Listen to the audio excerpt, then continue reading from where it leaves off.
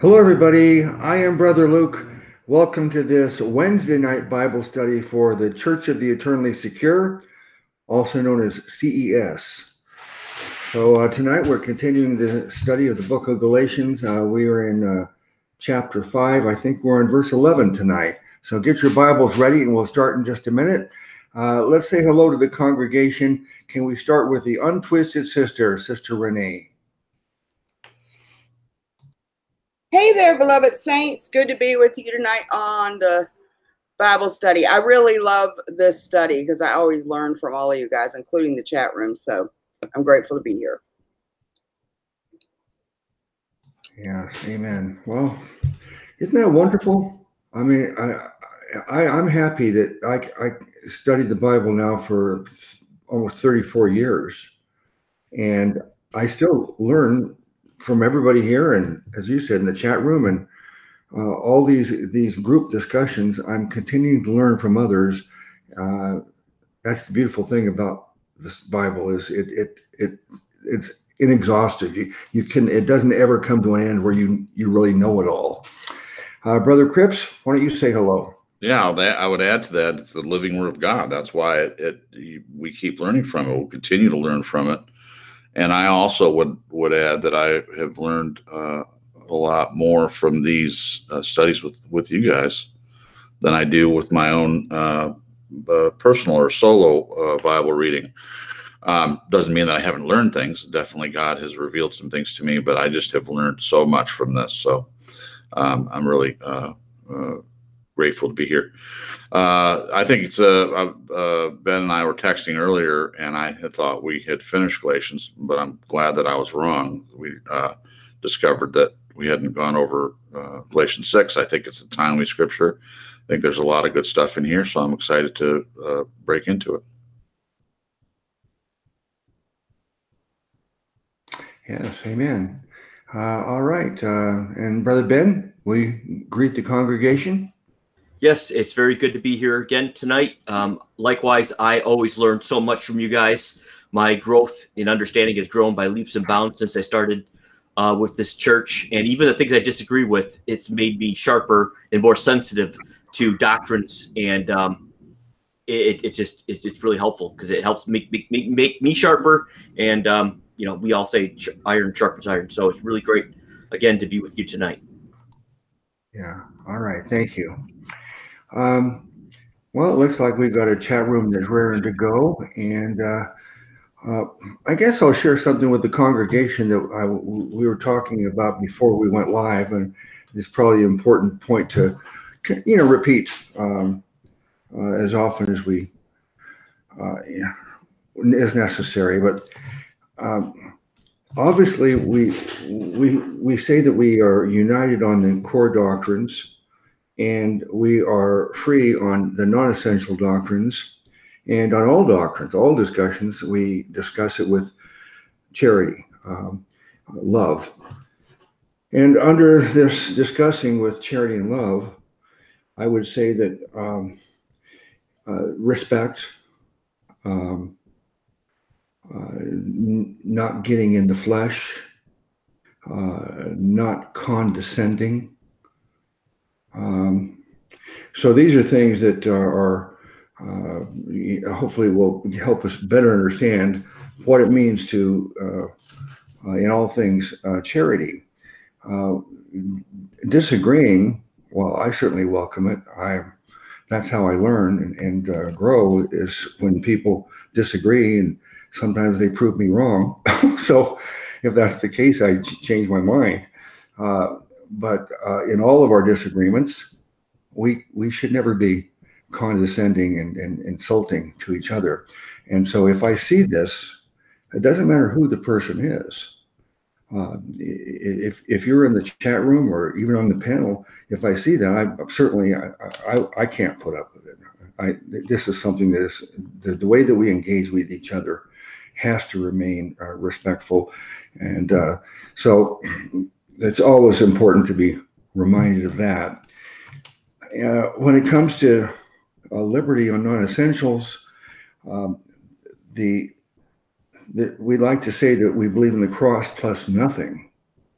And if that is the case, and that is the case for me, that um, we we believe that uh, what Jesus accomplished on the cross uh, accomplished everything that's needed for my salvation, and that all I need to do is believe that He did it all, and I have salvation because what He did for me, and His promise of eternal life. So it's it's very simple. Um, but if a person says, "Well, someone's not saved," because um, they they don't understand a theological point that that uh, that that I understand, then I'm adding something to simply the cross, the cross alone. Um, so it, it's not just the fact that we don't add our works to, to, to the finished work of Christ. We all know it's without works, but uh, we also must insist that we don't add anything to the the simple gospel message of the, the, the saving cross, what was accomplished on the cross. If we impose any other tests on each other, we're adding to the cross, and it's no longer the cross alone. So let's let's be on the lookout and on guard for that kind of uh, thinking. All right. Um, shall we get started? Anybody want to respond?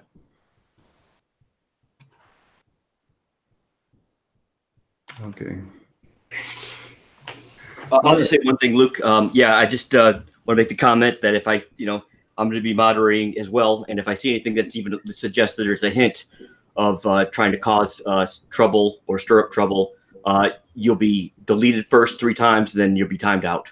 Thank you. Mm-hmm. Okay. All right, let's go to uh, verse 11 in the KJV. It says, And I, brethren, if I yet preach circumcision, why do I yet suffer persecution? Then is the offense of the cross ceased. Uh, let's start with Sister Renee. Yeah, I really um, like this verse because you can replace circumcision with anything. Uh, because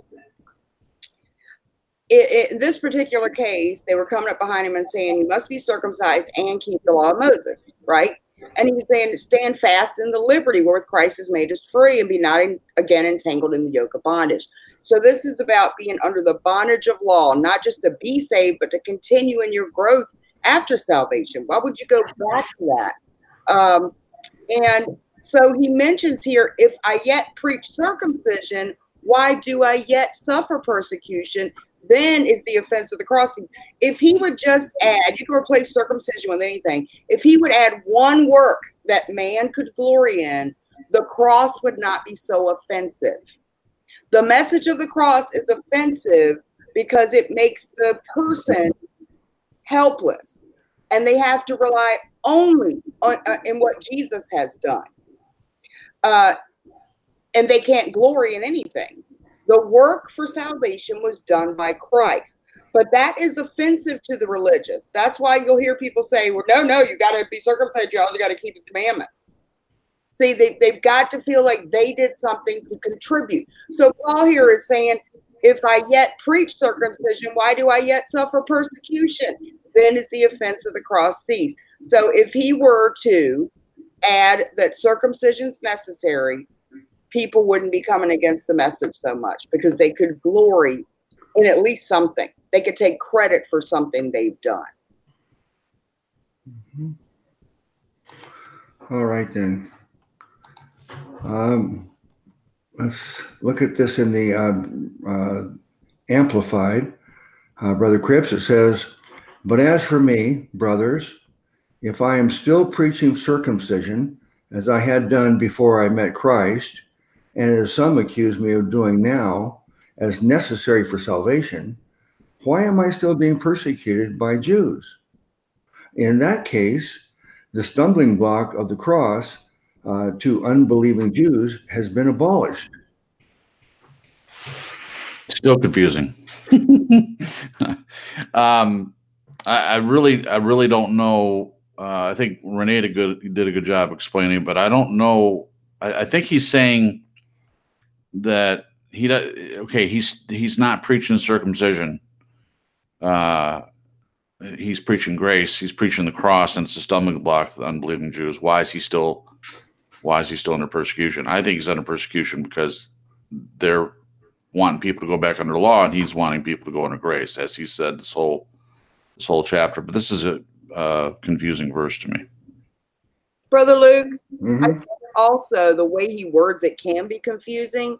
I think that the the issue here is that some people are claiming that Paul does preach you must be circumcised, Right. uh, like when he was a, a Pharisee, because you know, uh, and so well, if I'm doing that, then why do the Jews still persecute me? If I'm really out there preaching the circumcision that they claim that you guys must do because I also support it, then why do the Jews still persecute me? Then the message of the cross wouldn't offend them if I was really preaching it for salvation. You know? But I think somebody came up behind them and said, "No, no, no, we're we're telling you this because Paul Paul promotes it too." Right. And I think that's why it's confusing the way it's worded. You're you're right, Jason, because it's like if I yet preach if I am preaching circumcision, then Right. why are the Jews still accusing me? Mm -hmm. Yep. That's exactly it. It's Yeah. oddly phrased, and the amplified doesn't doesn't really uh, line it up either very well. Well, uh, let me read it again, the Amplified, and then um, uh, look at the footnote. It says, But as for me, brothers, if I am still preaching circumcision, uh, as I had done before I met Christ, and as some uh, accuse me of doing now, as necessary for salvation, why am I still being persecuted by Jews? In that case, the stumbling block of the cross uh, to unbelieving Jews has been abolished. Uh, so, you know, it never dawned on me before, uh, you know, even uh, until I actually did a study and I taught on the book of Galatians. And then that's when you really stop and try to think about each one of these verses very deeply, I think. But uh, this verse here, uh, it really surprised me. You're confused by it, Cripps. Uh, it's, uh, it's, it is confusing, and but it's shocking to me because it seems to me of all the accusations against Paul, that he's uh, uh, antinomian, he's against the law, he's uh, against uh, uh, not only he doesn't want the um Gentiles to convert to Judaism and practice it, but he doesn't even want the Jewish believers to continue practicing. He wants them to leave Judaism behind, and, and yet some people are accusing him of preaching that, like the Judaizers are doing that. Uh, that um, circumcision is necessary for salvation, apparently. Uh, that's shocking, but it just shows you the extent of the lies that people will say about someone. Um, I'll- here's a footnote um, in the uh, NABRE for verse 11. It says, preaching circumcision. This could refer to Paul's pre Christian period, possibly as a missionary for Judaism. More probably, it arose as a charge from opponents based on perhaps the story in Acts 16 1 through 3 that Paul had circumcised Timothy on account of the Jews. Unlike the Gentile Titus in Galatians 2, verse 3, Timothy was the son of a Jewish mother, the stumbling block of the cross. Uh, well, does that help? Anybody? Yes, I, I still think it's uh, Judaizers coming in trying to change it, and they're saying, no, no, no, Paul supports this also. And Paul's saying, no, I'm telling you to stand in your liberty. And if I did teach that, why do the Jews still persecute me? Mm-hmm. Yeah, they should leave them alone now, right? Yeah, yeah, yeah. that point? Yep. Yeah. That's because that doesn't really, I don't know. Well, you know, the more we study the, the Pauline epistles and uh, we, we, we really focus on all of the accusations against Paul, uh, every time I get into that subject, I identify with Paul because we seem to be going through the same kinds of charges against us. And, and some of them are so absurd. And this is absurd. To, to accuse Paul of teaching c- circumcision is required for salvation, that's the exact opposite of what he said. Right. Has anybody ever accused you of teaching something the opposite of what you actually teach? No, but I, but I, what I think happened here is they know Paul doesn't teach it, but the false teachers came in behind him and they're saying, no, Paul didn't tell us we had to do that. And they're claiming on Paul's behalf, oh, he, yeah, yeah, he believes in this. He supports this. He teaches it. And so they've come behind him and told the congregation this. And he's he's verifying, no, I want you to remain free. Uh, it, circumcision doesn't avail anything. And that if that were true, what they're telling you about me, if I did teach circumcision as part of the covenant, uh, then why do they still come against me? Why is the message of the cross still offensive to them? Mm-hmm. Okay. But yeah, we do. Uh, and I want to mention, Brother Luke, every time a false prophet, a false teacher comes up behind Paul, do they do the false teachers promote sin all you want? No. They promote law. It's always works. It's righteous works, it's good works, it sounds right to man, it's godly, except it can't save. But every false teacher preaches exactly what they accuse us of not teaching. You know, we just we do teach it. We just say that's after you're saved.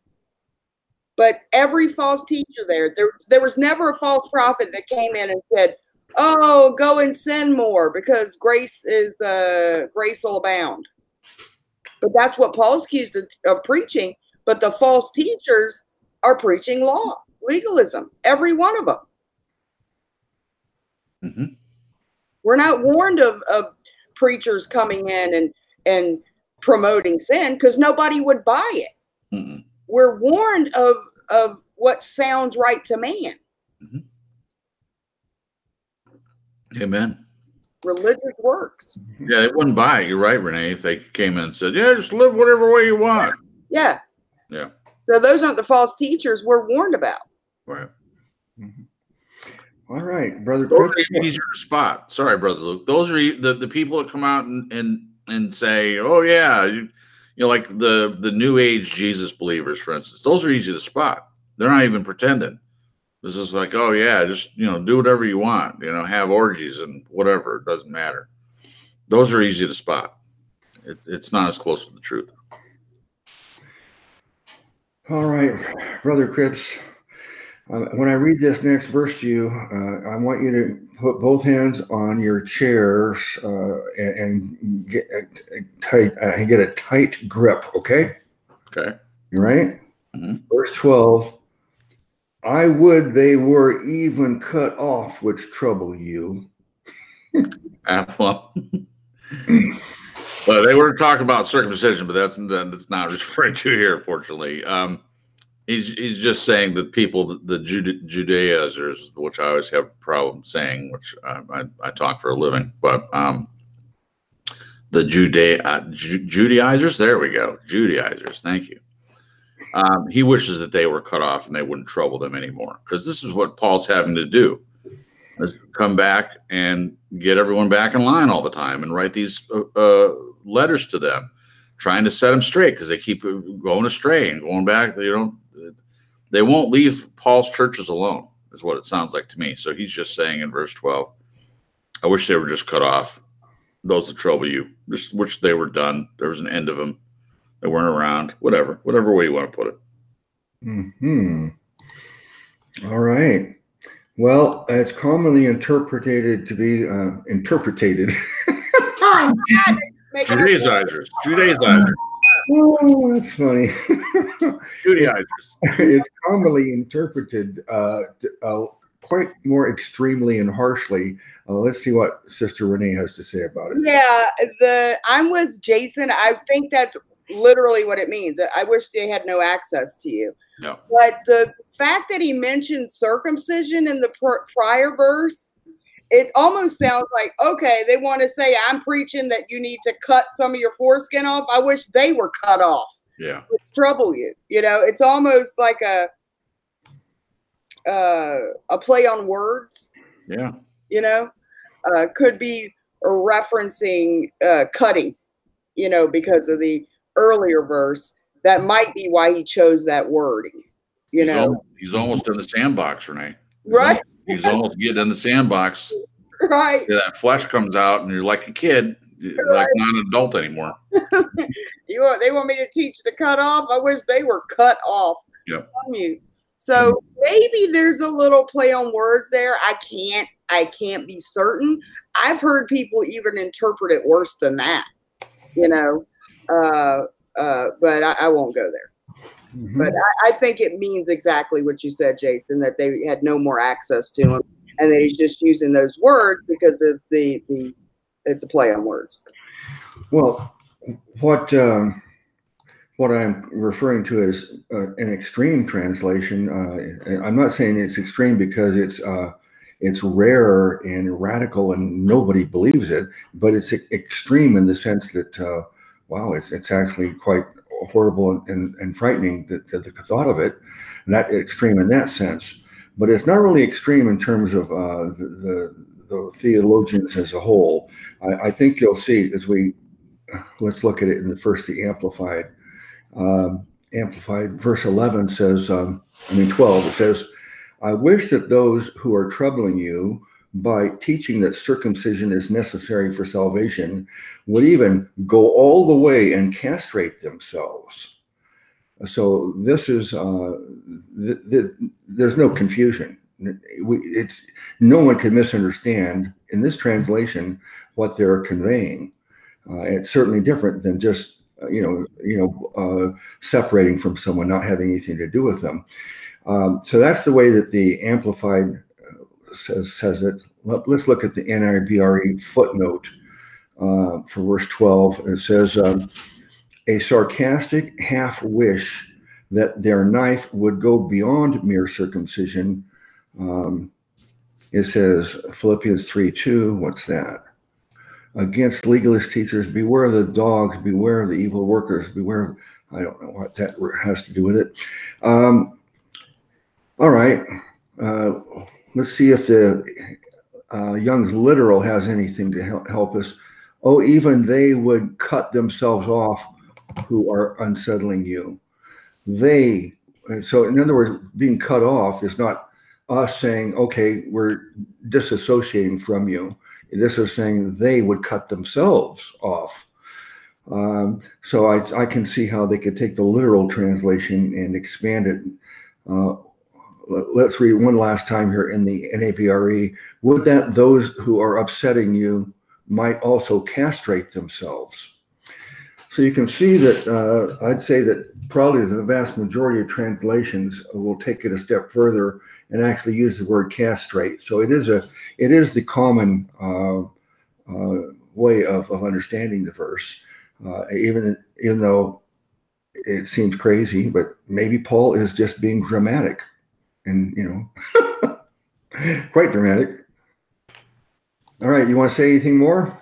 Yeah, it's kind of like they want you to clip some of it. I wish they just go cut all theirs and get it over with. More more than the tip. Yeah. Yeah. Yeah. Yeah. Castrate and then don't, don't reproduce. We don't want those people reproducing either. Too, too late. Too late. Gosh. All right. Um, let's go to the next verse. Then there's not much we can say about that except express our shock. Oh, Paul, how could you say such a thing? Paul in the sandbox. now I'm going to be on Paul's bad side. oh, all right. KJV verse 13 says, For brethren, ye have been called unto liberty. Uh, only uh, use not liberty for an occasion to the flesh, but by love serve one another. Mm. Sister Yeah, this is one of my favorite verses Yeah. because this is a perfect example when the people come and say, oh, it's a license to sin. What they're really saying is, because you're secure in Christ and Jesus did all the work, it's a free gift, and none of how you're living is saving you. Yes. They don't like that because they want it to count that they're being good now. And it's clear that that's not doing it. We are free, but, but don't use that freedom to serve evil. You know, he tells us before, you're not a debtor to your flesh. You're a debtor to God.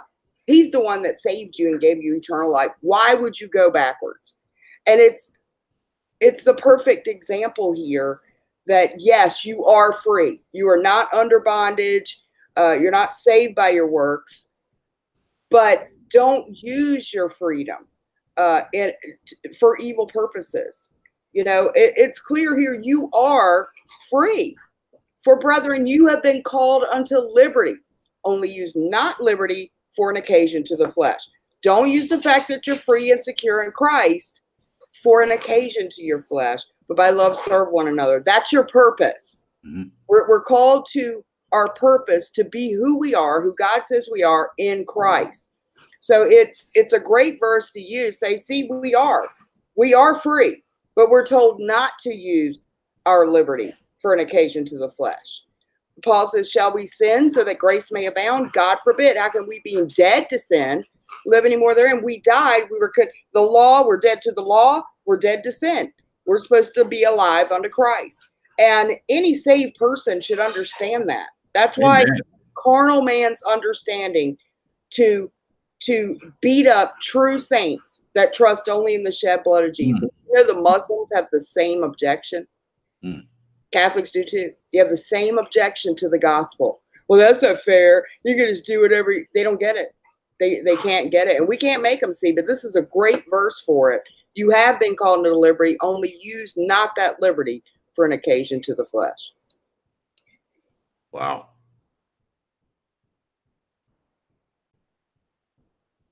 All right, let's look at it in the Amplified. Brother Cripps it says, uh, uh, For you, my brothers, were called to freedom. Only do not let your freedom become an opportunity for the sinful nature, that is, worldliness selfishness, but through love serve and seek the best for one another. Yeah. It makes no sense uh, to do that. Uh, I, while Renee was talking, she did a great job explaining. I can't really add much more than that, but I'll, I'll say that while she was talking, I was thinking about uh, an actual slave being set free, and then what they do once they're free, they're they're a free man now. They're no longer slave. What they do is they go back to the people that are that are still slaves and taunt them and say, "Ah, you're a slave," blah blah blah. You know, like they have the liberty, and they're going back and they're treating other people like this. Um, to me, it's it's the same thing. If we're given liberty, we understand what liberty is, and someone else doesn't understand it. They're still in bondage to eat not, touch not, or you know all, all that stuff. Whatever whatever it is that they don't have liberty in. Let's say it's alcohol. Let's say uh, we know that this. Just for an example, um, someone that professes to be a believer, they think that if you touch any alcohol, you're going straight to hell. They're wrong. They're wrong about that. But for you to to go and drink in front of them or uh, taunt it. And, and Paul's addressed this many, many times. Don't use don't use our liberty as an occasion to the flesh. Um, and then this last part, but by love serve one another. That's how we deal with it. Uh, if someone's uh, in bondage to something else, we treat them with love, uh, hoping that when they see the love, they'll see the Holy Spirit's work in your life and they'll turn their eyes to Him. We're supposed to be light and salt to the world. And it's frustrating to me when I'm not seeing that.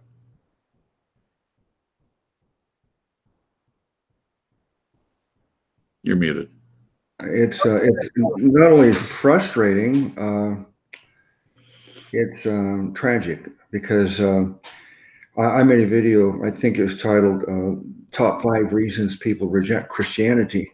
Yeah, uh, and, and, of course, part of it is people observe Christians and uh, uh, we we are so it's like Gandhi phrased it this way. He says, uh, uh I, "I, love your Christ, but uh, your you Christians are so unchristlike."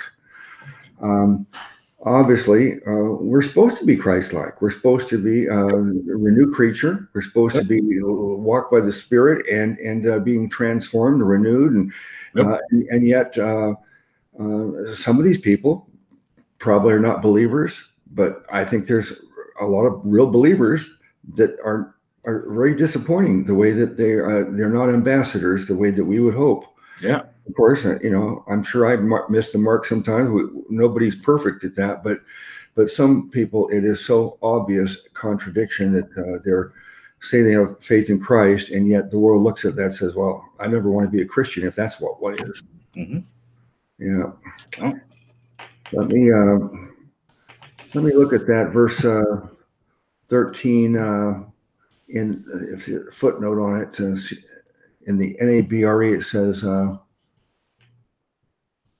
Uh, in, in light of another reminder of the freedom of the gospel, Paul elaborates on what believers are called to do and be. They fulfill the law by love of, of neighbor. Well, this is reminding me here when it says believers, and then when in the NABRE it says believers, and then uh, in the Amplified it says brethren. And we've talked about this before, but I, I think it's uh, important to keep mentioning this that this is obviously a letter that's written to a congregation of believers, saved people, indwelled with the Holy Spirit, who uh, uh, unfortunately uh, got led astray. It's like a it's like a person that uh, comes to faith today uh, and then someone comes into their congregation or they happen to be searching for a local church and they join a church and that church is preaching the judaizers message that that other things are required besides faith whether it's water baptism and changing your life or circumcision and following the laws of moses um, people uh, when, when they're babes particularly and these are babes they they haven't been saved that long, so uh, it's easy for them to be influenced and by these false teachers. And that's really what's going on in this whole book of Galatians. And it should be obvious to everybody. The uh, uh, but the fact that he says brethren again here, and the other translations refer to it as believers. So we're talking to believers who, uh, unfortunately, have gone into apostasy. Um, all right, let's go to the. Anybody want to say more before we go to 14? All right. Uh, in the NA, uh, in the amplified, uh, whose turn is it to go first, Renee or Cripps? It's me. All right, Cripps. Verse 14 in the KJV says, "For all the law is fulfilled in one word, even in this: Thou shalt love thy neighbor as thyself." Amen. So uh, I've looked ahead a little bit to the next verse, and he mentions the law of Christ to fill the law of Christ. What is the law of Christ? Um, we all know it. It's it's love God with everything, with our whole heart. That's paraphrase, of course, not a direct quote. And love your neighbors yourself. So he's saying in this verse, for all the laws fulfilled in one word. You know, that's that's what that's what Jesus said, and all the laws and the prophets are are fulfilled in this. People still don't understand that. They get it all all twisted. Um, but when jesus came he fulfilled the law and the prophets. He did. And he said give you these two commandments. One is not one is an old one. It's not a new one. It's an old one. Uh, love god with everything. Love your neighbors yourself. So that's what he's referring to i believe here. Thou shalt love thy neighbors thyself. It's very clear so if we do that if we do that then uh, it's fulfilled we're we're uh, Jesus fulfilled it, but we're doing what Jesus told us to do. We're following Christ's commandment. Christ's commandment isn't just as we've talked about. It isn't like many people think. It's not like the Ten Commandments. We're especially uh, for Gentiles. We're not under the law. We are under Christ's law. If we're if we're His children, we're under this law here. Thou shalt love thy neighbor as thyself. It, it's super clear. So if if we're not doing that, there's a problem. Mm-hmm. Yeah. All right. Thank you. All right, sister. Sorry, we're having dog crisis here, you guys. I was watch, watching him walk around in the background. I didn't see a crisis. uh, you made a good point about not using our liberty uh, and in front of others. Mm-hmm. But I love serving one another. It was a good point, Cripps. And here's the thing Paul's saying they want to come in and preach law to save, but we fulfill the law when we love one another. We mm-hmm. are in freedom. The law can't save us. But it even says in, I think it's Romans, that the righteousness of the law might be fulfilled in us. And what is the true heart of the law? Love. That's that's the point. And so you don't need the bondage of law for us to to live godly. Mm-hmm. That's that's the whole point of this. The law, you're looking back to dead letter instead of what these shadows meant. And if you just let Christ live in you, it'll work itself out. Uh, when it says, For all the law is fulfilled in one word, even in this, thou shalt love thy neighbor at thyself. So Paul is saying these people want to come and push law on you, but you're not in bondage of the law. But the true righteousness of the law, the true meaning of the law is love. And we have that ability in us because the Holy Spirit dwells in us. We don't Yes. need this law. Yeah. Why do you think it's so hard, Renee? Why do you think it's so hard for people to see if, if they're not living in that love? Uh, they they have this sense of righteousness Yeah. uh, and they they don't understand God's standard of perfection, Mhm. and that even the thoughts and intents of our hearts fail Him all the time. Yep. So they think that as long as they don't do the actual uh, working of it, you know, if you don't cheat on your wife, then Right. you're you know you're not an adulterer, even even though you are in your heart. Right. And they they have not been made guilty by this law. It just hasn't shown them their guilt, and so it, it, they can't even grow if they are saved because they're always looking back to this. And the strength of sin is the law. It's the don't do this and do that and self focus that keeps us wrapped up in it Mhm. instead of just saying, okay, I'm right with God because of what Christ did, and I'm just going to do what the Spirit in me tells Amen. and that is something we get we hear better and better and i know for me my whole attitude and opinions about what's right and wrong has changed since i've been saved. And it goes far beyond what's written in the law. I mean uh, you would probably say up yep she she keeps god's commandments. But in my heart i believe we should even go beyond. Not only should we not steal but we should give more when someone's in need. Like we should go above and beyond what the law even demands. Yes. you know? Yeah. so um I, I, they just they can't see it i mean it says that if the gospel be hid it be hid to them that are lost Yeah. they can't they just can't see it until god shows it to them Amen. self-righteous blinds people Pride too. Yeah. Yeah. Same. It's almost the same thing. Isn't it? All right. Yeah, it is. Pride and self righteousness. Spiritual pride is what it is. Yeah. All right. I'm going to read it 14 in the Amplified. It says, For the whole law uh, concerning human relationships is fulfilled in one precept you shall love your neighbor as yourself. That is, you shall have an unselfish concern for others and do things for their benefit. Mm. Yeah. Well, you know, the thing that uh, amazes me is uh, when you look at uh, the Mosaic laws, you have 10 that are seem pretty simple to understand that God wrote in stone with his own finger. Uh, um, and then you have, uh, I guess, 603 other, there's 613 total. So there'd be 603 additional laws that Moses recorded on parchment, I guess. And uh, um, these are really quite detailed and intricate. Um, it- it's a huge legal system that they are under. Um, and then Jesus comes along and says, I'm going to reduce it all, kind of sum it all up in, in just these two things love God with your whole heart, mind, uh, whole love your love God with your whole heart, mind, soul, and strength. I think, and uh, and love your neighbor as yourself. Um, so he's he reduced it into that and said, "This is all you that really you need is these two uh, these two points covers it all." Um, and yet, can anybody here listening now? Can any of us claim that we can even do these two things? Really? Tell me, anybody, does anybody love God with their whole heart, mind, soul, and strength?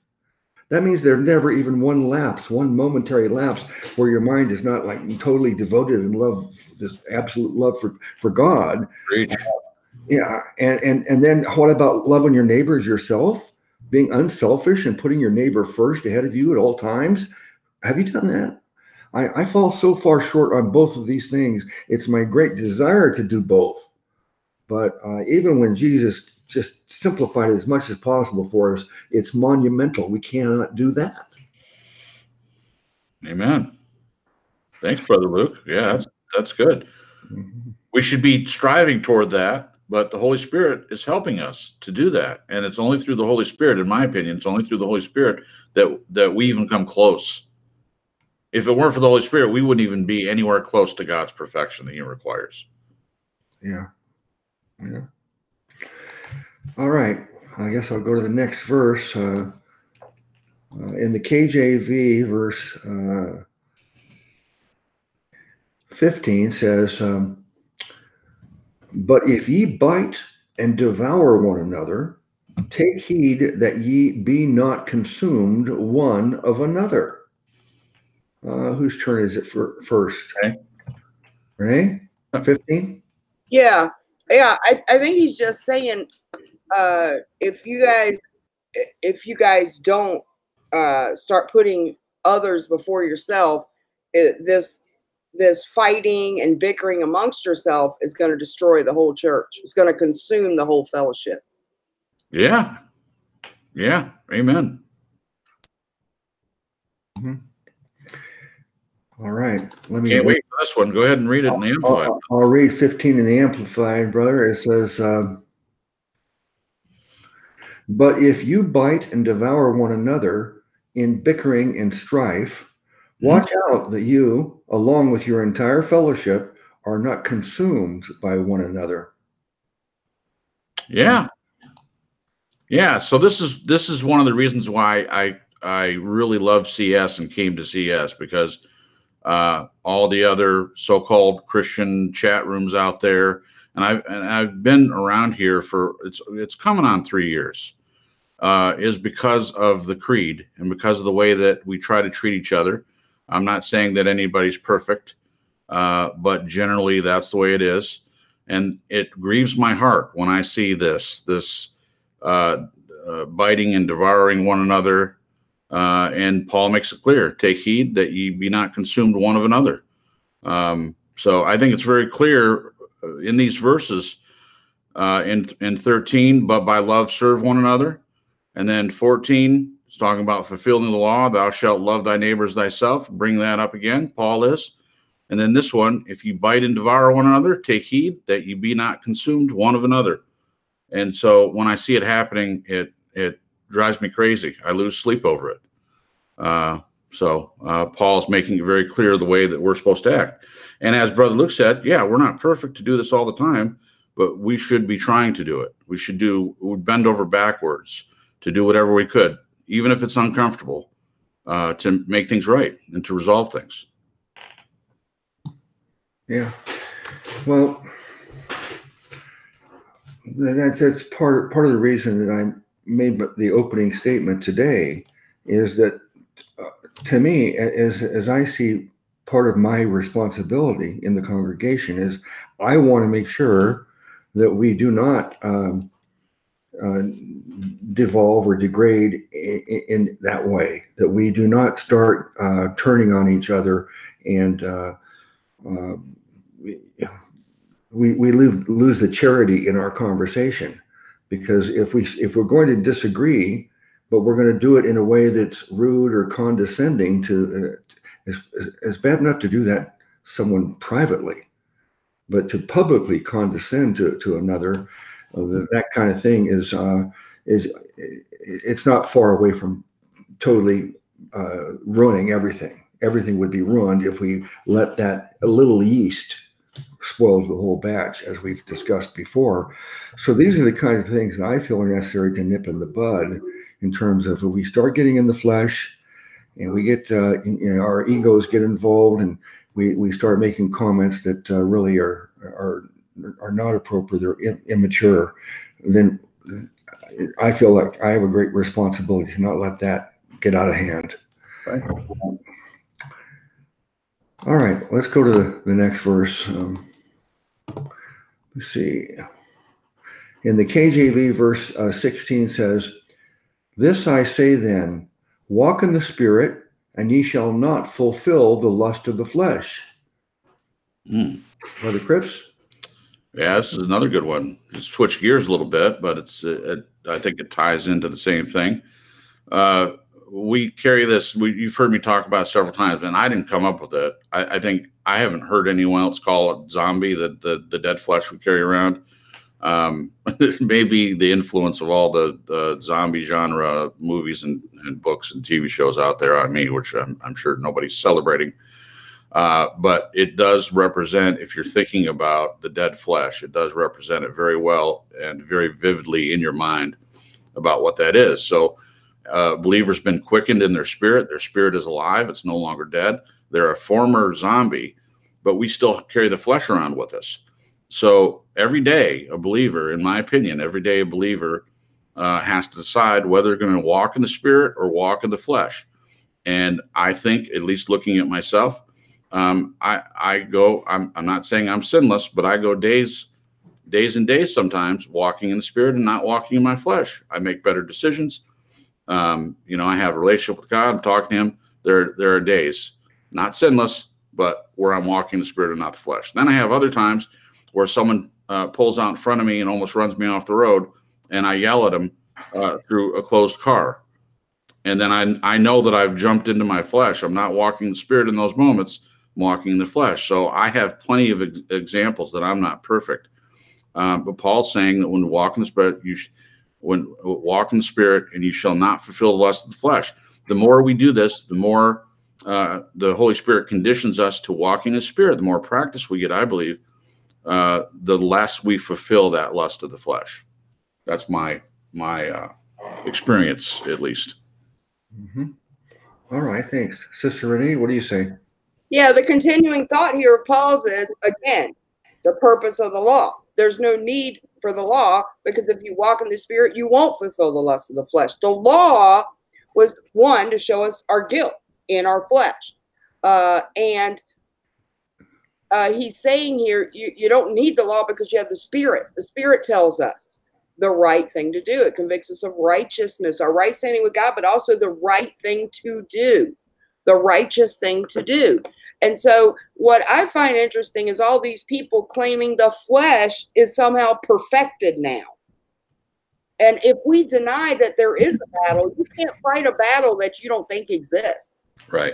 People that they think they got it all under control now. No, he's talking about before he was saved. He's still carnal, he's still got flesh. We are all still in the flesh.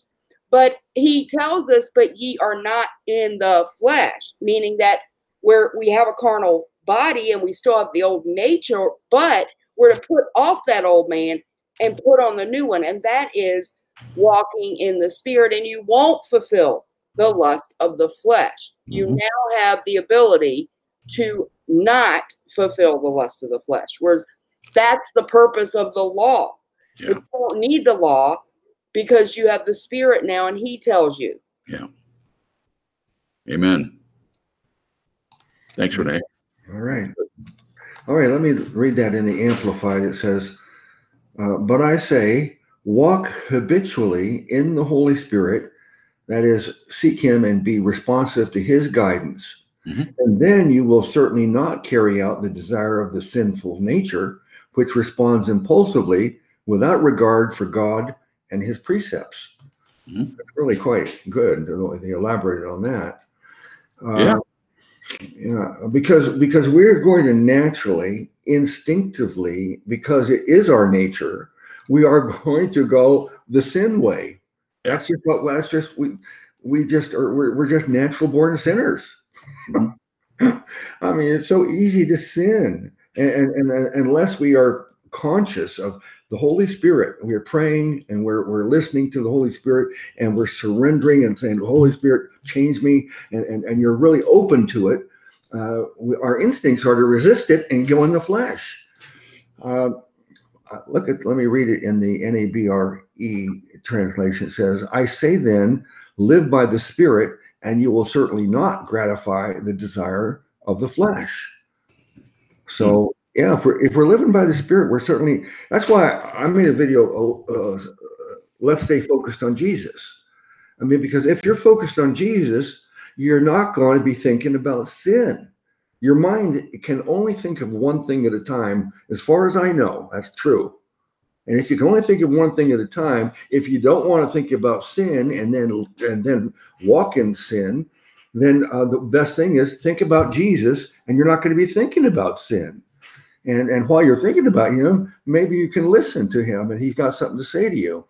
Um, if you look at the Young's literal, it says, "And I say, in the spirit walk ye, and the desire of the flesh ye may not complete." So, in other words, the desire of the flesh will be completed. The flesh will get its way, unless you, you don't let it get completed by walking in this in the spirit. I think that's a, uh, and that's the Young's literal, but I think that's really quite ob- obvious in that. Um, all right, any more? No, that's good. Mhm. All right, let's go back to the KJV for uh, uh, verse 17. It says, um, For the flesh lusteth against the spirit, and the spirit against the flesh. And these are contrary the one to the other, so that ye cannot do the things that ye would. Wow. Sounds a little bit familiar to uh, uh, Corinthians, doesn't it? Mm-hmm. Yeah. Is it your turn, folks? Is it me or Renee? I Renee? don't remember. I don't remember. Renee? Okay. Hold I. I don't remember. I lost track. Go ahead, Renee. Verse 17.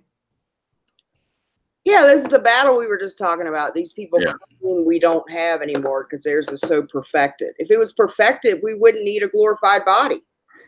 Why We we wouldn't need Jesus. corruptible flesh, hmm. sinful flesh. Flesh itself is sinful. It's what we inherited.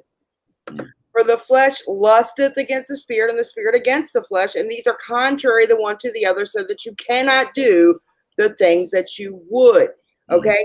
Now, if you're only in the flesh and you do not have the spirit, that's why you can't be saved by the law.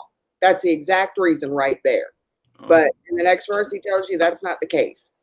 But these people that want to get it by the law, they mind the things of the flesh, and those in the flesh can't please God.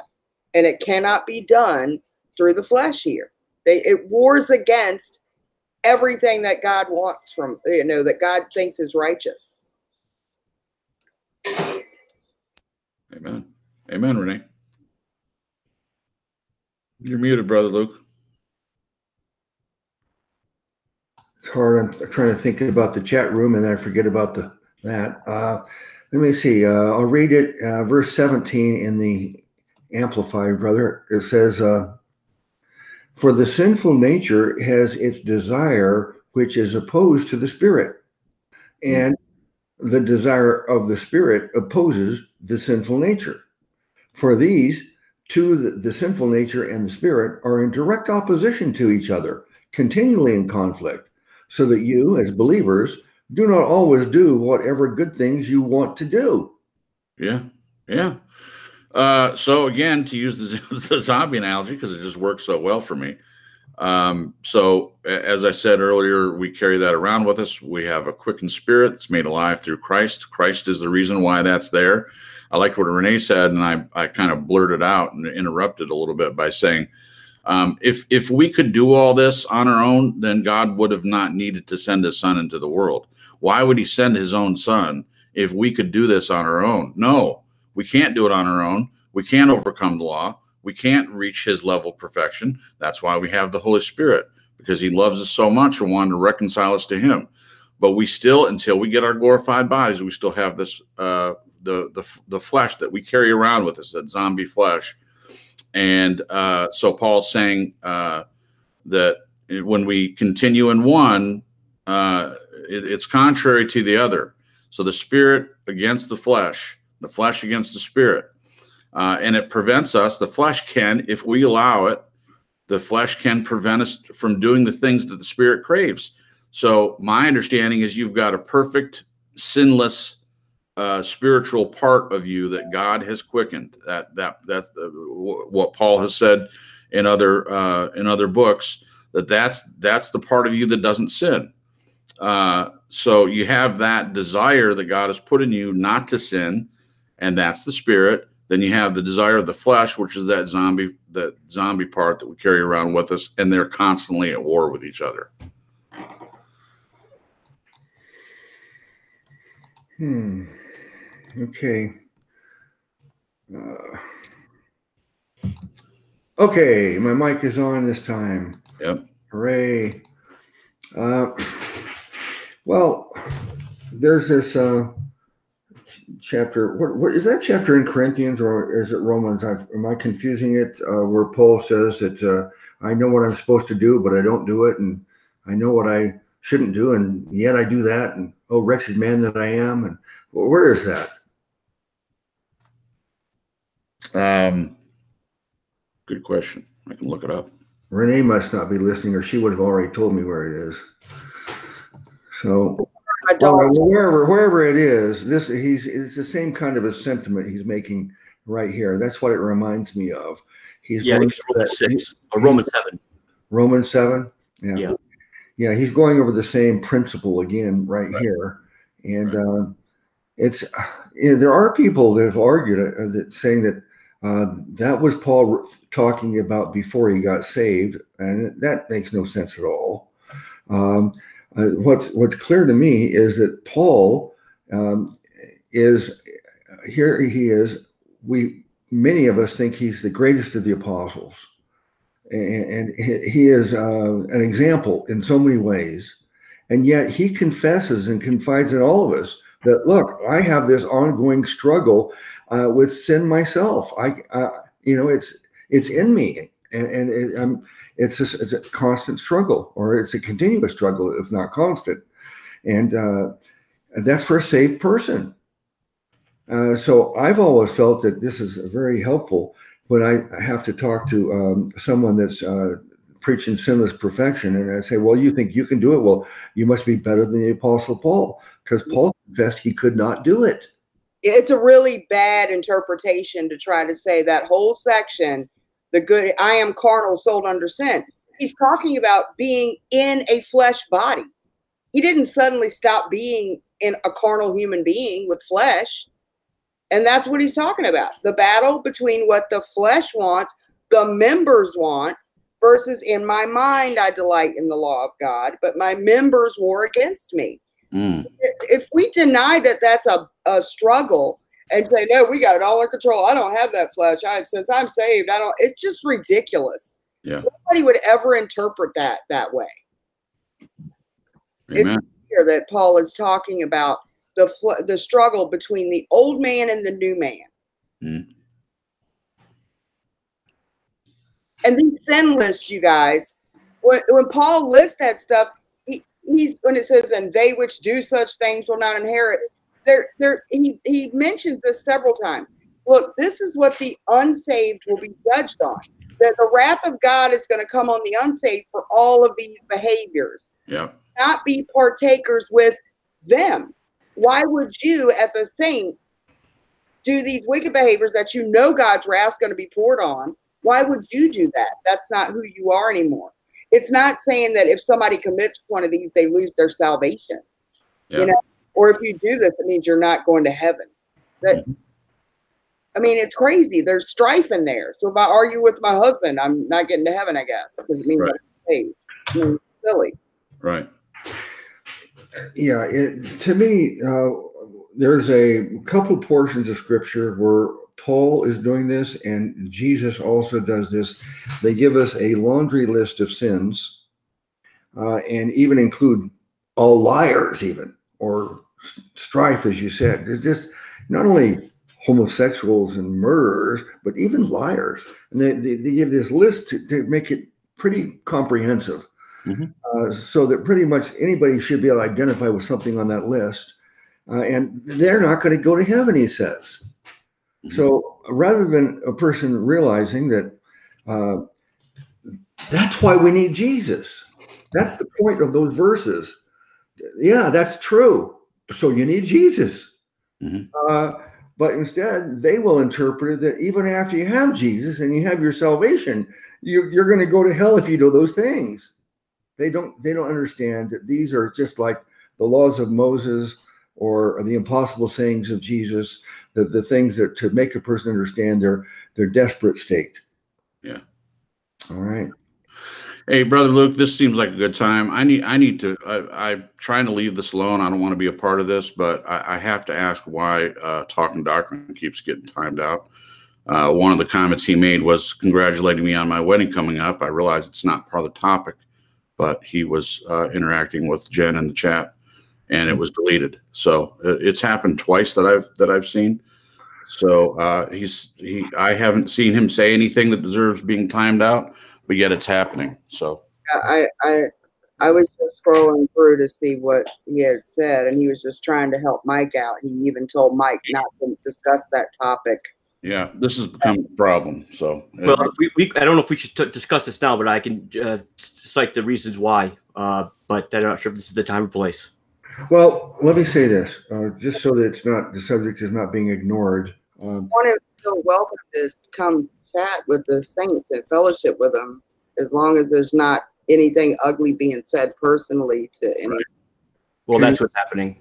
Can you uh, give me a second here? The um, uh, on on the protocols uh, for the chat room, how we're supposed to be conducting our, ourselves in the chat room, um, and, and what I said in the beginning of the program about being in the chat room and making comments that are condescending and rude, and insulting.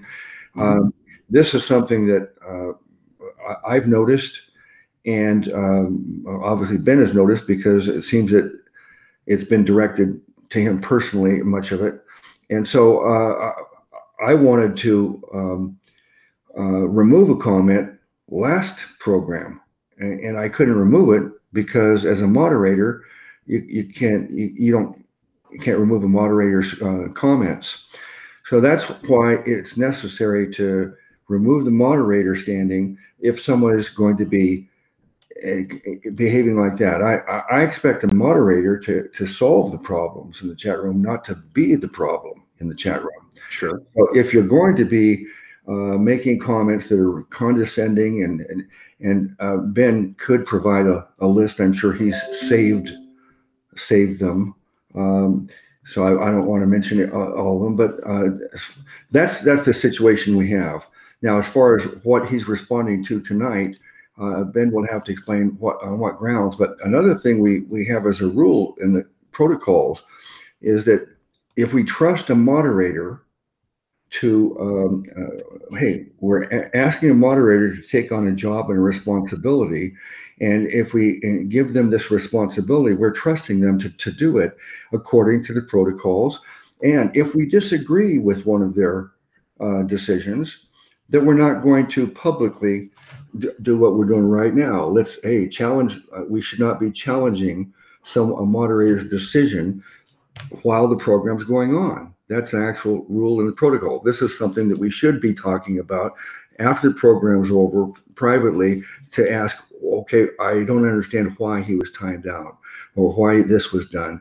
Could you explain it to me? Rather than confront questioning a moderator's decision publicly and now who's going to want to be a moderator if they make a decision and then and now they're going to be challenged when they do it Mm, so that, that's how we're supposed to be uh, conducting this.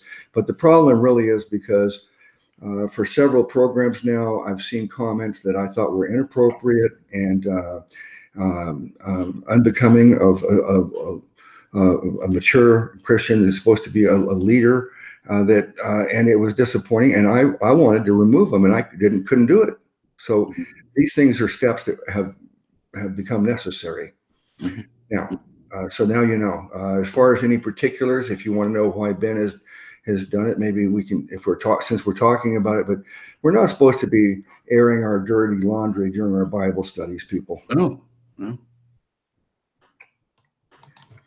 All right. okay. Talk about it after. Okay.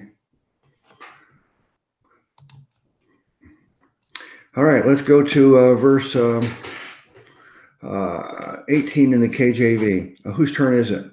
I think it's mine since, uh, yeah, Renee went last time. Okay. Probably go all the way to the end of 21 because it's a continuing sentence. All right, I'll read 18 through 21. But if ye be led of the Spirit, ye are not under the law. Now the works of the flesh are manifest, which are these adultery, fornication, uncleanness, lasciviousness, idolatry, witchcraft, hatred, variance, emulations, wrath, strife, seditions, heresies, envyings, murders, drunkenness, revelings, and such like, of the which I tell you before, as I have uh, as I have also told you in time past, that they which do such things shall not inherit the kingdom of God. There it is. That's exactly what I was referring to. Yeah, yeah. I was that. Yeah. So I told I've already given you my answer how we should understand these things. But whose turn is it? Renee, yours? Right, Chris, go ahead. Yeah. Uh, so yeah, I was going to say when it came around to me, that's exactly what you're referring to. These lists of things, uh, for sure. Now Paul's making it very clear that uh, the works of the flesh, and he he uh, says what they are. But in verse 18, but if led by the Spirit, you're not under law. So, in other words, uh, like we've discussed, if you're continuing to walk in that spirit that God has given you, that quickened spirit, that spirit man that is perfect in you, and you choose to walk in those ways, then you're not under the law. Uh, you're you're not even responding to that law. You're responding to Christ's law. If you're walking in the Spirit, you're following after the things that Christ said to do. Uh, so then he lists all these things. Um, in my understanding, uh, I'm sure it matches what Brother Luke thinks that this this this gets twisted too. And when it comes around to Renee, I'm sure that she'll have a, a heyday with this one. Uh, but people say, see, see, envies, murders, drunkenness, revelings, all this stuff, wrath, witchcraft, hatred, all these things that he mentions. If you're doing any of those things, you will not inherit the kingdom of God. Uh, my understanding is uh, based on the whole of Scripture that, yeah, of course, we shouldn't do any of these things. But are there people that have murdered that are going to heaven? Absolutely. Are there people that have gotten drunk that are going to heaven? Yes. I can go on and on with each one of these things. And I know someone personally. I've even been someone. Uh, I've been drunk. I, used to I used to drink uh, quite often. Um, I don't anymore. But that's not what saves me. What saves me is Christ alone through faith alone with nothing added and I'm no longer one of one of these people. I think I don't know if it's this one, but he said so. So were some of you that did these things. I'm paraphrasing what Paul said. You used to do these things, now you don't do them anymore. Uh, we inherit the kingdom of God by believing in what Christ did, uh, uh, not by uh, the things that we do. Um, so we're we're inheriting the kingdom of God based on kingdom of God based on what Christ did, not based on what we do. Um, so then someone could make the argument, well, uh, Bill, I'm just some random name. Bill is a, is a drunk, and he claims that he believes Christ alone through faith alone, nothing added. He's not going to inherit the kingdom of God. Well, he's going to face earthly consequences if he continues to do that. Uh, but uh, only God knows a person's heart. Uh, no matter who thinks they look at someone else and say, "Oh, I know them," only God knows who they are and what their true intentions are and that makes it difficult for us. Uh, but God knows if if uh, Bill is really saved or not, and I believe the Holy Spirit will deal with the the things that a person, if is really a child of His, He will continue to deal with them, and it doesn't necessarily uh, mean that they won't inherit the kingdom of God. Mm-hmm. All right, thank you, Sister Renee. That's a lot of text here to comment on. Yeah, there's a, a couple of things I want to say here. For one, Jesus said the kingdom of heaven is within us. So there's one way to interpret that that if you're doing these things and you're living in your flesh, mm. you're not inheriting the kingdom. You're, you're not walking in the peace, as it says, the temperance, the patience. You're not living in it now, for one. Uh, but he's clearly talking about the difference between flesh and spirit. And whenever he mentions flesh, he mentions the things the flesh wants, right? But we are not in the flesh. We're not judged on the flesh for salvation. Uh, he's telling us how to walk. You know, if you want these things, and he's listing, if you're being envious, you want to murder, you got hatred, that's your flesh. You shouldn't feed that. He's mm-hmm. giving them examples of what their flesh is. You can tell you're walking in the flesh if you desire revel, reveling, drunkenness, uh, murders, envying. That's your flesh. And then he goes on to tell us, but the spirit is this. Mm-hmm. So I, I think it's he's clearly just telling them how to walk in the spirit and how to determine which is their flesh wanting something versus what the spirit desires, uh, and what the uh, evidence of that will be. If you're walking in your flesh, you're going to be manifesting this stuff. If you're walking in the spirit, you're going to be manifesting these things. And so he encourages people not to feed the flesh. And in every other verse here that's similar with the famous sin list, he's telling the saints don't do the things the unsaved, unrighteous, unjust unbelievers do. Don't be like they are. Uh, don't do this as become a saint. And so he clearly makes a divide between the unsaved and how they're acting and how the saved shouldn't be acting like the unsaved. And so here, and it says, For they which do such things shall not inherit. Now, I think uh, he's just determining those that are still in the flesh aren't going to inherit the kingdom. And why would you want to act like people that aren't part of God's kingdom? Uh, another thing is inheriting the kingdom right now. If you're doing these things, you are not walking in the, the kingdom of God, the kingdom of heaven that is within us. Amen. Dividing, you know, uh, the difference. Amen, Renee. Mm-hmm. All right, thank you. Uh, well, uh, there's a footnote here in the NABRE. Uh, it says verse, verses 19 uh, through 23. It says such lists of vices and virtues uh, were common in the ancient world. Paul contrasts works of the flesh with fruit, uh, not not works, fruit of the spirit. Not law, but the spirit leads to such traits. Uh, but that's the thing that I, I guess I'll, it's worth repeating because maybe some people didn't hear me last time, but uh, this is something that I think is you can never say too too much. Right. And that is that these laundry lists of vices um, and sins, uh, the lordship heresy, they they will use these that portion of scripture to say, see, if you don't stop doing all these things, you're you're lost. You're you're going to go to hell, and they don't realize that that's true unless you believe in Jesus. That's why we need to believe in Jesus. So um, it's just when you see these lists, don't let them bother you. That's the context, and that's the that's the viewpoint, uh, the perspective you need to have about these lists. Right. Um, and some of the some of the things on the list, uh, let's let's look at it more, more carefully. Uh, actually, in the uh, I didn't read it in the Amplified, did I? I'm curious to see no. how they would phrase this. Um, Go ahead. Okay. Okay, it says, um, now the practices of the sinful nature are clearly evident. They are sexual immorality, impurity, sensuality, uh, total irresponsibility or lack of self control, idolatry, sorcery, hostility. Anybody here ever get hostile sometimes? Yes. Strife. I think I think we saw some strife tonight where there's strife. Pardon me? Perfect, not me. Yeah. Uh, jealousy. I don't know. Have you ever get jealous? I, am yep. unfortunately, I, I think I have to confess to that. Yep. Fits of anger. Um, not so much fits anymore. I have had right. fits of anger, but uh, you know, my anger does uh, uh, build up in me sometimes. Yeah. Disputes, disputes. Come on, we're, we're always having disputes. Oh, someone's calling me. Okay, there you go. Uh, dissensions, uh, factions yep. promote heresies, envy. Come mm-hmm. on, come on. I think uh, we've all envied others sometimes. Uh, hopefully, we grow out of that. But but envy is so common.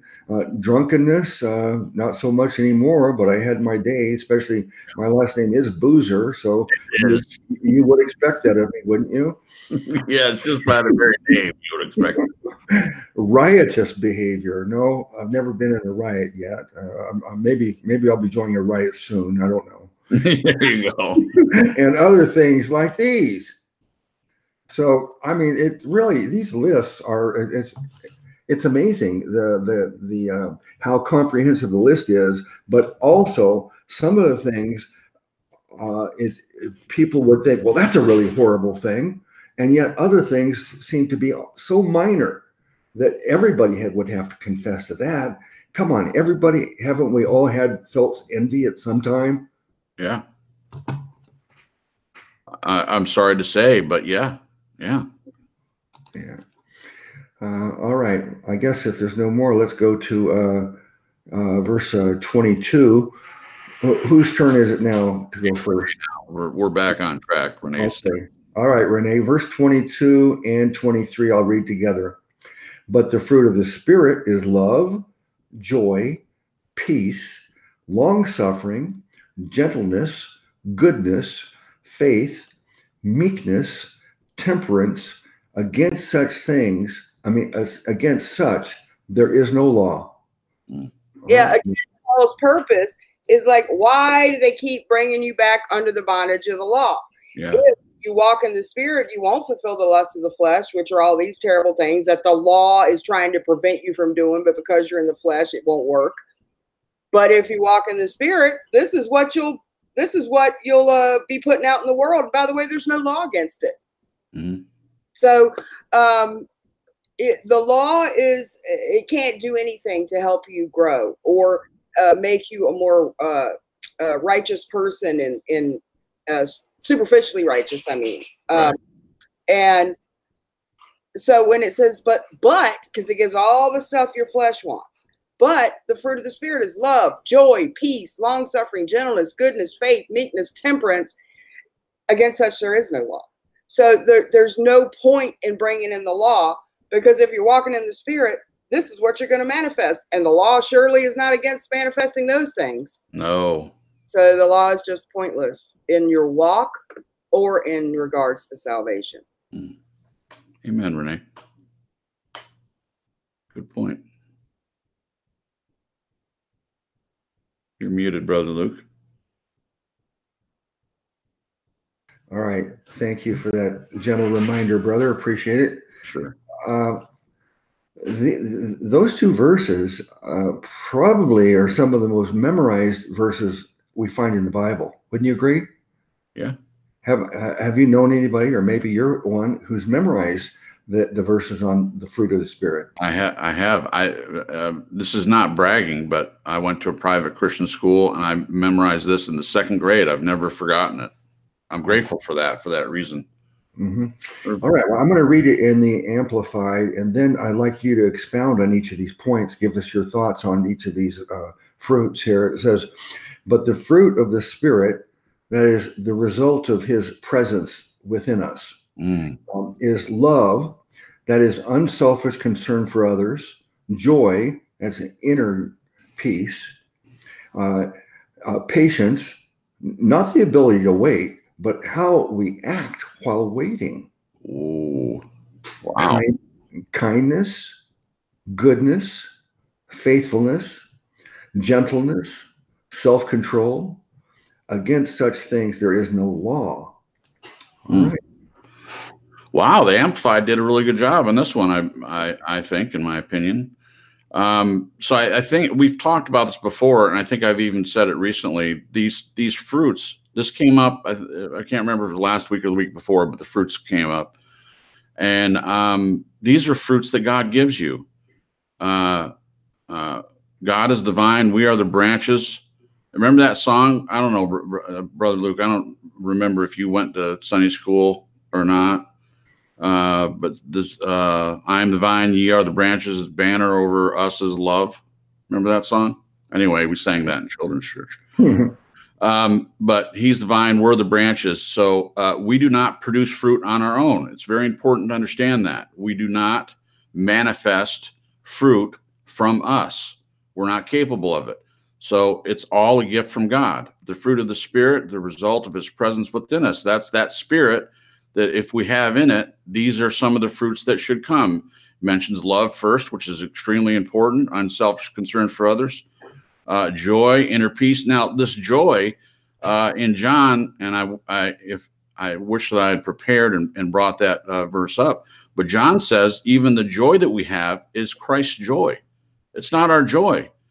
I, I find that very, very comforting that I don't have to depend on my own joy, that Christ gives it to me, the joy that I have, joy unspeakable.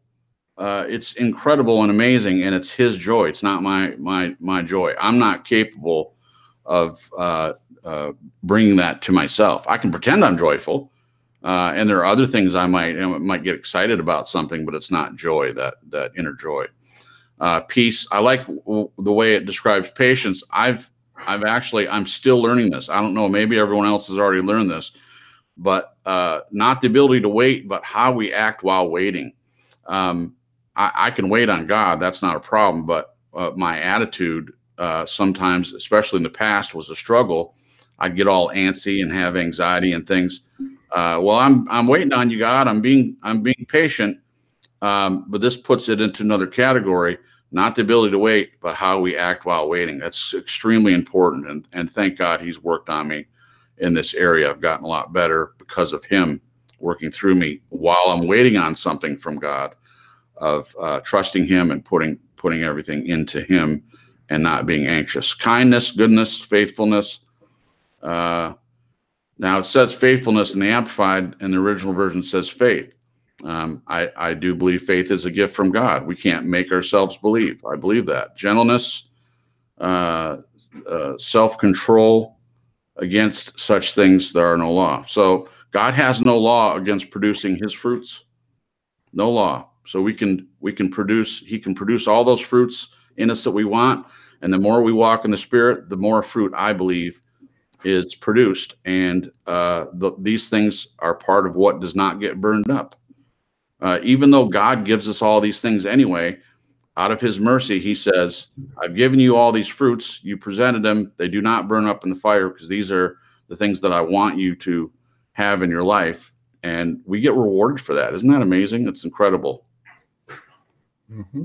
Yeah, it is. Uh, I we, we've talked a lot about the concept of rewards, and uh, it's unfortunate some people teach there's really no reward system for right. believers. But uh, um, I don't know. I, I, don't. I wouldn't criticize someone if they said that their motivation, their reason for wanting to work in ministry, is to build up treasures in heaven and earn rewards. Um, I, I wouldn't find any fault in that, but it's not my motivation it's it's the icing on the cake. I'm I'm I'm happy to hear that I'm going to get some rewards, if possibly, but um, I, I, do think whatever I do is just because I love Jesus. I want to talk about Jesus. I love the saints. I want to be around the saints. It's just um, that's where my desire is, not because I'm uh, motivated to to earn the rewards. Uh, yeah, for the lost too. What's that? Heart for the lost. Yeah. Oh, you think I have a heart for the lost too? I didn't include that. yes, I do, of course. Um, but uh, these, the fruits of the spirit. Uh, I wonder how many of these uh, each of us would identify and say, uh, "Yeah, I have this fruit." Um, and and what if a person doesn't have one of these or some of these? Uh, does, does, that indicate anything? Should we make any judgments uh, if we see some of these things missing, lacking in in us or others? Uh, love. Uh, do I do I love as uh, fully as as the Lord wants me to? I I think I fall short of that. Joy and, and peace. I have. I think I, I excel at that. Thank you, Lord. I have joy and peace. I have it all the time. Of course, sometimes there's momentary problems and, and, strife and discord and things like that, that. When I have to deal with these things, it momentarily takes away my peace, but not my joy. Uh-huh. Uh, my long suffering, patience. I thought that was interesting, Cripps, how the the uh, long suffering or patience was expressed in the amplified. That was really beautiful. I think. Uh, let me look at it again. Yeah, uh, it's wrong when people use these as a checklist. You know. Yeah, fruit inspectors. Nobody, nobody walks in the spirit all the time. That's why Paul is constantly having to remind them, "Hey, this is how you get victory, not through the law, but by walking in the spirit. Mm-hmm. Well, the the KJV has the term long suffering, but uh, today we would just use the word patience. Right. God is long suffering or God is patient.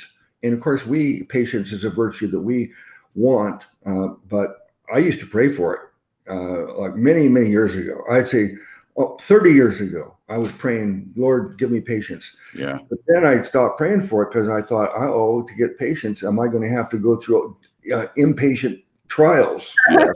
yes. So I said, no, I don't really want patience at that at that cost to have That's to what through. builds patience is dealing with people that are difficult or having to wait for something a long time. Yeah. That builds patience. So if you want patience, God's gonna put people that try your patience. That's the way it works. And Well, that's we- why I, I confess I'm I'm I my patience is not what it should be, but I purposely didn't want it developed. Well, the same the same guy in Romans five said, uh, "Tribulation worketh patience, patience experience, and experience hope." That's that's the that's the way that it works, whether we like it or not. If we're praying for patience, uh, as you're saying, brother Luke, that's exactly uh, what we can we can count on. We can count on it anyway. There's going to be tribulation in this world if you're a believer. Yeah. Absolutely.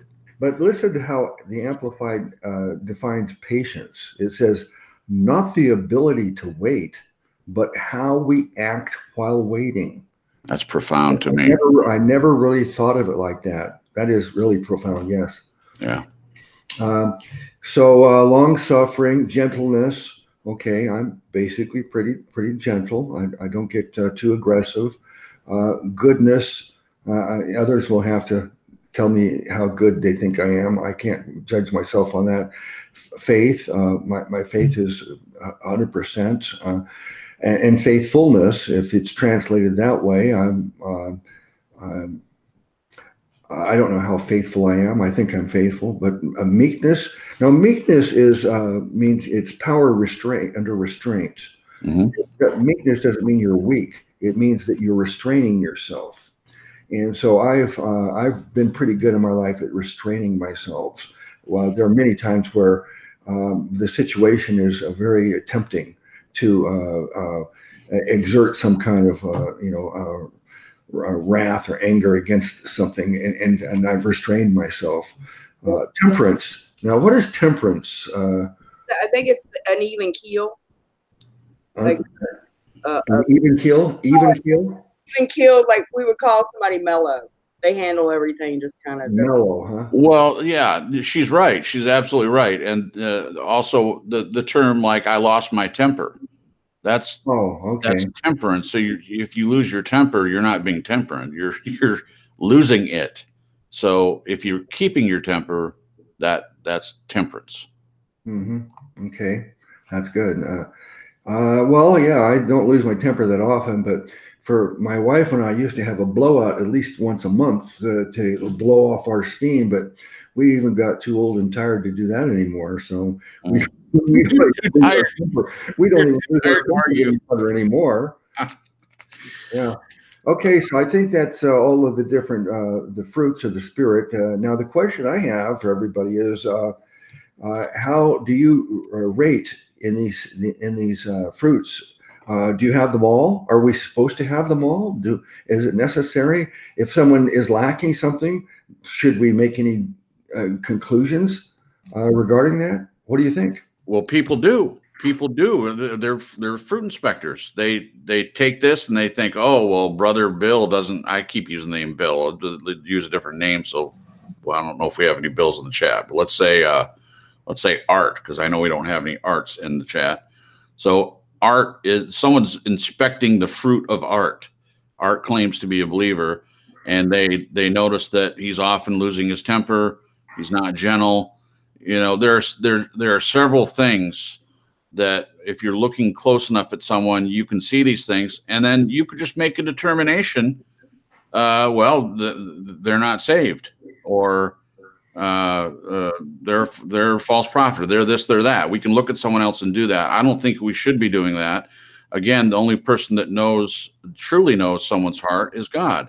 Uh, we can think that we know someone. We can think that we know um, all their intents and things like that. Uh, but I find that uh, problematic. We shouldn't be looking at other people and trying by their just by their fruit. And then there's the other verse, and Renee, maybe you can help me with that. The the verse that's actually about false prophets. You'll know them by their fruit, right? So people take that one and they add it on to this one. Yeah, that's ridiculous because Right. that verse says that they are wolves in sheep's clothing. So they look like righteous religious men, but the fruit is their words because out of the heart, uh, eh, out of out of the evil heart, a man speaks. Mhm. So they should know not to. That makes me mad when they do that. I'm like, what what fruit are you looking for? They're looking. It, it is a way to judge. It just it's so it makes my skin crawl when people take those verses out of context like Yeah. that. Ray Comfort does that. Yep. And by fruits you'll know them. Fruits of holiness, fruits of this, fruits of listing stuff that's not even said in scripture. Right. Exactly. Wow, I, I just looked at the clock and I completely lost track of time. So we, Yeah, good. yeah, it's good, I guess. Yeah, uh, unless you're on a schedule. But uh, I, I guess this is a, a, a good point for us to uh, drop uh, drop off anyway, since we covered all of these uh, fruits of the spirit. Um, so uh, let's start giving our, our uh, summary remarks here, uh, Brother Cripps. Thank you. Yeah, this was great. It's a great chapter. Um, like I said, I'd made the mistake. For some reason, I thought that we had already finished. I thought we were going to be starting Ephesians started. So I was, I was way off there. So my apologies for that. Um, but I'm glad that we uh, have this uh, six, uh, chapter six to go over. There's a lot of things that are timely, a lot of stuff going on uh, in these areas today. Uh, and so for me, I find find it comforting to read these words from Paul uh, by the inspiration of the Holy Spirit, and I'm challenged uh, to uh, do more work and try to step out of my flesh the times that I get into that and continue to walk in the Spirit. I hope it encourages everyone else to do so. Uh, I'm uh, excited about finishing up this chapter and then moving on to Ephesians, but there's still some verses left. So uh, I guess next time uh, we'll finish up and then we'll we'll get into Ephesians. So um, very excited about that as well. I like new chapters, new fresh chapters, but this is I'm I, I'm gonna miss I'm gonna miss this uh, this book. This is great, um, and I appreciate being allowed to be part of the panel. Thank you so much. All right. Thank you, brother. All right. Uh, uh, brother Cripps, give us your summary, please. I mean, Brother Cripps, uh, brother, brother Ben. Oh, I thought it was another great uh, study. Um, I wasn't able to pay attention as much as I wanted to because there were some comments. Uh, some individuals can't let let bygones by be bygones. Let the past be the past. Then accept decisions that were made by uh, a committee, and um, it just said that we we that, that has to keep on coming up. Uh, why not just accept it and move forward? That's I think what we all want to do. Um, but other than that, uh, what I did catch it was it was uh, awesome, great comments, especially Luke. I like what you said uh, about the you can your mind can only occupy one thing at a time. So if you're if you are tempted to sin, it, it's just a matter of setting your mind on the things of the spirit, and immediately your your whole uh, your whole being is, is transported into into the spirit, and um, you you will not have you will not experience those those fleshly temptations. I know it's not easy. It's easier said than done. I'm not saying it's easy, uh, but over time, I've learned uh, that that definitely is the case. So I thought that was excellent. All right. Thank you. Um, well, as far as easier said than done, I, I, I really do think that uh, it's as easy as that. Uh, it's just a question of, first of all, a person needs to be aware. All I need to do is just call on the name of the Lord, just think about Jesus, and the, the, the sin desires go away because I'm thinking about Jesus instead. And just we need to realize that this is our way out, and uh, then employ it. Not understand that this is what we're supposed to do. Focus on Jesus, and now that you realize that's the cure, just practice it, and and you'll find out that it is as easy as said as done. Whatever, whatever. Yeah, I think what I meant by that is it took, it took a while. I think what I meant by that was uh, it took it took me a while to learn that. Uh, yes, it is easy, uh, but it took me a while to learn that. Uh, maybe it comes quicker to others, but Well, that's the law mentality. You mo- we want to focus more on law, and it only strengthens sin. But when you abide in God's grace and Jesus is your focus and His love for you, it doesn't strengthen sin. It gets your focus back.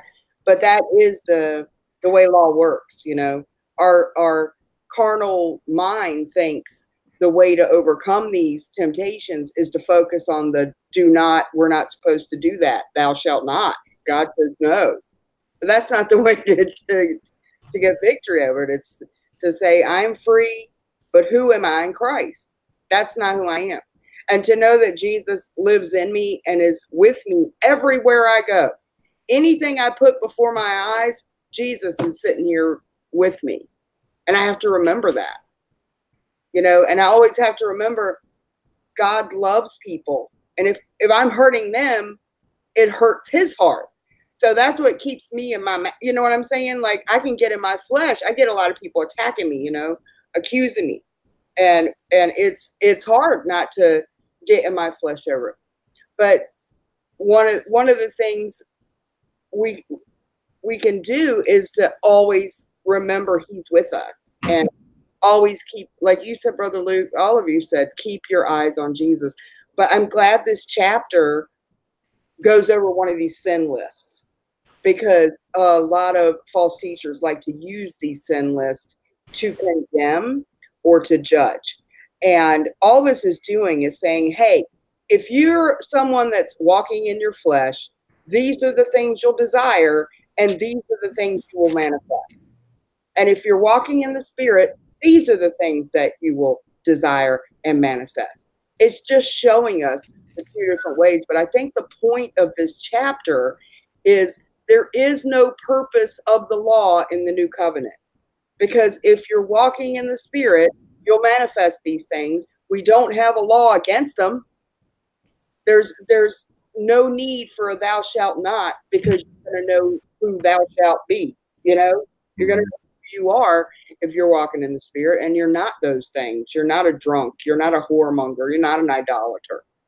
So I'm glad we, uh, you know, got to a section with the sin list because I think one in which one Ben is is it first or second Corinthians the famous sin list and another one in Romans maybe. Yeah, there's one in Ephesians and I think uh, First Corinthians six. There you go. That's yep. That's the one they. That's the big one use. Yeah. So yeah, I really like this study. Mm-hmm. Okay. Um, all right. I guess everybody's give their summary uh, except me. Uh, the uh, we we're almost done with this chapter. If we I was paying more attention, we probably could have figured out how to complete this chapter tonight. But we'll pick up uh, where we left off next time, and then we'll be in chapter six. Um, so we, we've all, I think, agreed that um, Galatians is one of the favorite and most important books of the Bible, and uh, so it's been a great study all the way along. Um, but obviously, Galatians is such an important book because it, it not only tells us that uh, you cannot mix uh, uh, faith and works together, and that it's it got to be uh, you got to leave out the, the law completely uh, and that if there are believers who get led astray into the Judaism, uh, into believing in Jesus, now thinking that they got to practice Judaism too, or in today it's it's they, someone who believes in Jesus and gets saved, and now they they get uh, fall into legalism and lordship because they didn't know any better. And so I think that this book is very important uh, for those points there these are these are probably the biggest problems in Christendom. Christendom is not Christianity. Christendom means everybody in the world who identifies themselves as some kind of a Christian. Out of all those people, I don't think more than 10% of them believe uh, in the Christianity that we believe in the Bible. Uh, most, most all of them believe in uh, Jesus plus some kind of religious works. Yep. Uh, so, uh, and then the fact that some people um, believe and then go astray into apostasy, uh, this is a fact that we have to accept. That, there are people that that's what happens. Uh, I've known many people who've gone through this. Uh, that's what this entire book is about. So I think we need to be aware that this problem does exist. Um, all right. Anything else from anybody before we say good night? Well, I would say if people could go apostate, then that that would suggest that that, that faith is the faith is not a gift of God because God I mean God does does not fail. But, what? All right. All right. Oh, Thursday, my Thursday thing. It's just open topic tomorrow with Brother Dave and Lisa uh, tomorrow on the Throwdown. I don't know what we're talking about, Mhm, but it's 9 p.m. Eastern Standard Time tomorrow. Mhm. 9 p.m. 9 p.m. on Renee Rowland channel. Be there or beware. And then uh, join us Friday night for Fun Fellowship Friday night on this same channel, Church of the Eternally Secure, 9:30 p.m. Eastern Time. Thank you everybody for participating tonight. Bless you all in the name of our great Savior God, Jesus.